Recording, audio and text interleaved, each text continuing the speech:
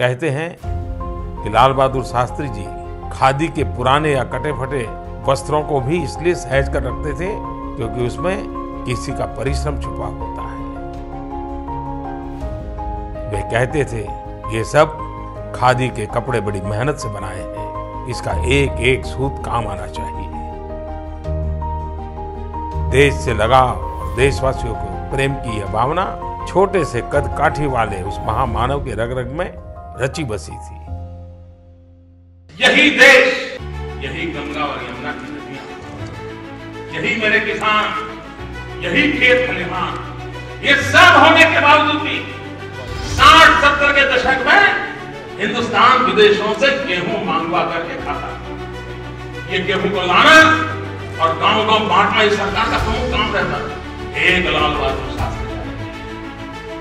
उन्होंने कहा, जय जवान।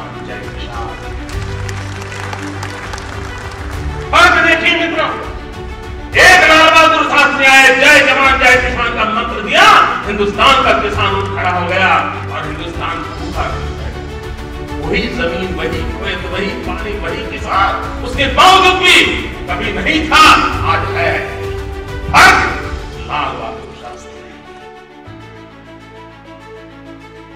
शास्त्री जी का नाम आते ही हम भारतवासियों के मन में एक असीम श्रद्धा का भाव उमड़ पड़ता है। उनका सौम्य व्यक्तित्व हर देशवासी को सदा ही गर्व से भर देता है। लाल बहादुर शास्त्री जी की यह विशेषता थी कि बाहर से वे अत्यधिक विनम्र दिखते थे, परंतु भीतर से चट्टान की तरह दृढ़ निश्चयी थे।